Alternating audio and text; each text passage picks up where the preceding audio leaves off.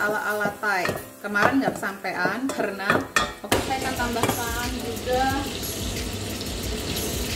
kaldu nabati.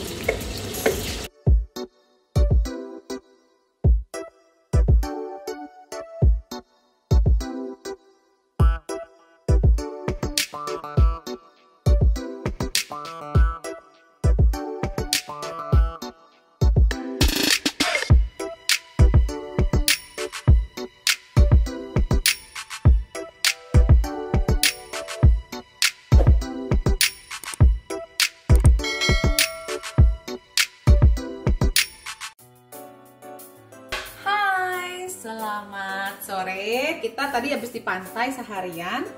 Terus kita uh, sebelum kita ke city center, saya pikir ah masak makan di rumah aja deh karena deket dengan pantai rumahnya. Kita masak dulu aja biar uh, lebih sehat makanan kita gitu ya. Um, nah saya ada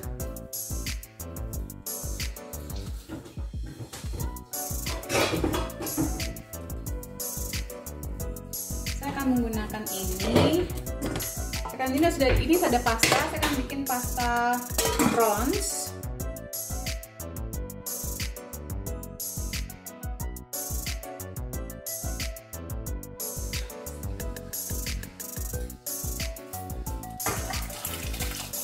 Tadi sudah saya matang masak. Nah sekarang ini saya akan buat dengan rasana. Ini at the same time saya akan memasak uh, salmon. Salmon. Ini saya akan goreng salmon buat besok kali ya. Sekalian aja kalau udah sekalian masak dimanfaatkan waktunya biar tidak buang-buang waktu. Nah, trik untuk uh, memasak dengan minyak sedikit, menggoreng dengan minyak sedikit, tetapi tidak menempel di stainless steel adalah dipanaskan dulu minyaknya. Saya akan masukkan ghee. Satu sendok makan ghee. Oke. Biar creamy, creamy, creamy, creamy, creamy. Nah, saya akan memasukkan ini rasana kolaborasinya Mbak Ai, Mbak Kinci dengan Rasa Nusantara. Satu, dua, tiga sendok makan. Ini sangat handy ya buat dibawa jalan-jalan. Yang lagi liburan, lagi jalan-jalan, silahkan dicoba. Saya akan membuat ala-ala Thai. Kemarin nggak kesampaian karena waktu di Bristol karena nggak ada koriander. Nah, sekarang mumpung ada, saya buat udang ini udangnya sekitar 400 gram ini 2 bungkus nah ini saja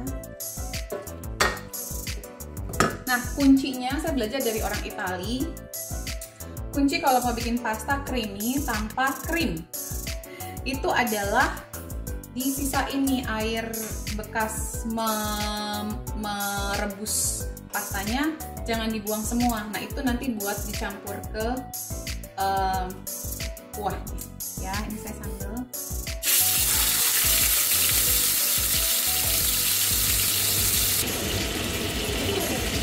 potong-potong terong-terong. Nah sudah tuh. Udah mateng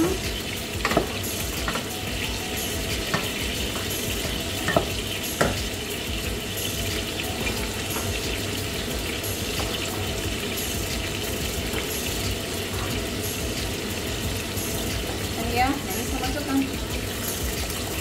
nah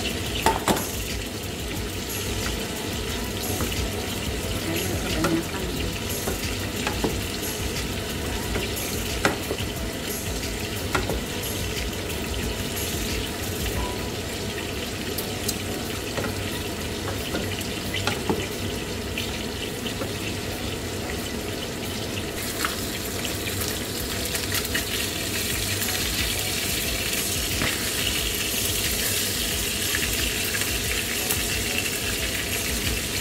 berhubung kita traveling.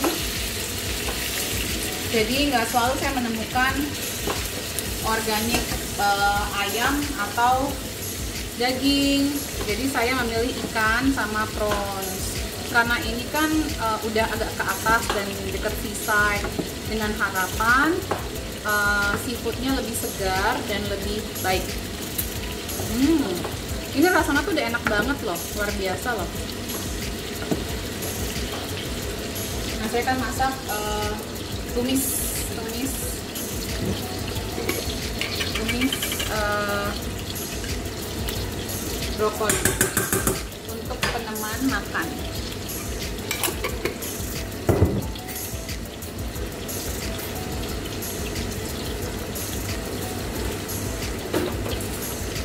Biar tetap segar dan sehat semuanya seluruh keluarga putih bawang merah. Ini bawang putih bawang merah adukan saya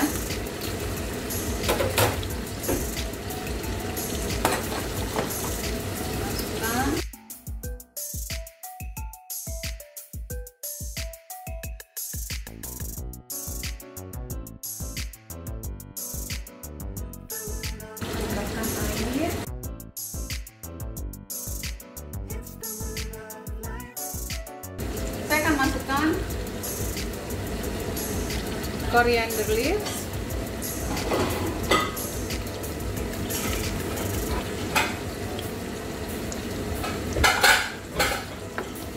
Dan jeruk nipis nanti. Jadi kayak tai-tai gitu deh. Simple kan? Oh ya terus nanti akan saya buat. Daging Itali dengan cheese tapi ini cheese-nya cheese dairy free. Gluten and dairy free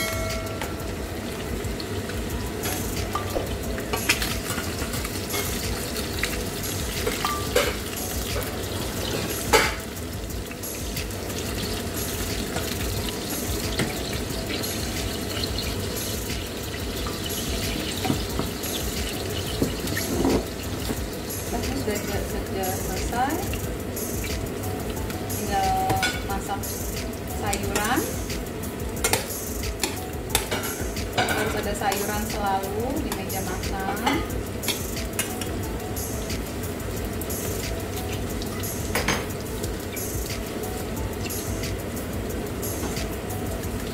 Penting ya walaupun lagi liburan tetap harus menjaga kesehatan.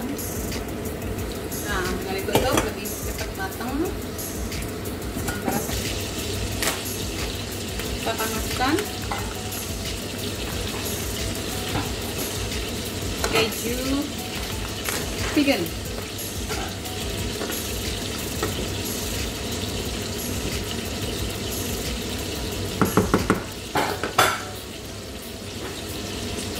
Oke, selamat mencoba. Nah, ini nanti uh, saya akan tambahkan juga